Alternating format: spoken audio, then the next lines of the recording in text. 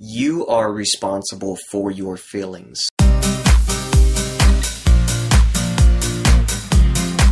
lot of guys, they like to take their feelings and they like to put them on the back of a woman and say, these are my feelings and don't you hurt them because if you hurt my feelings, you're going to be a bad person and I'm going to never forgive you for it and I'm going to place all the blame on you and always make excuses for why I'm feeling the way I'm feeling and I'm going to make you the excuse. Well, that's a very immature way of handling yourself. That's a very immature way of handling your feelings. No one is responsible for your feelings but you. That's why they are called your feelings. Nobody's responsible for, for them but you. If a girl hurts your feelings, who allowed her to hurt your feelings? You did. Nobody can hurt your feelings without your permission. You have to take the incoming information, process it, and say, you know what? I'm going to allow that to hurt my feelings. I'm going to allow myself to be hurt by that. You are 100% in control of the filter that whatever happens in your daily life, the filter that it goes through. You are 100% in control for how it affects you. You cannot place the blame on women for hurting your feelings, okay?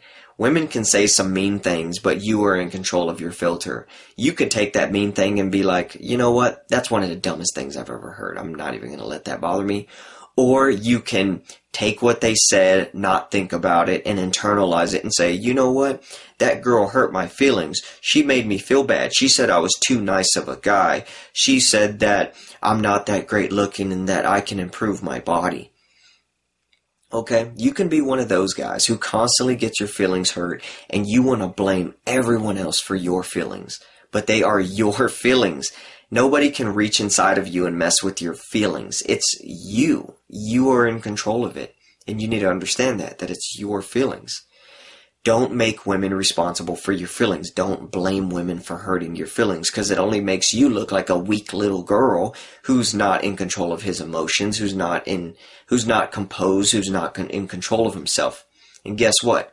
When women see you as that type of man, they're not going to feel attraction for you. They're not going to say, "Oh, well, I'm sorry for hurting your feelings. Here, let me have sex with you to make you feel better."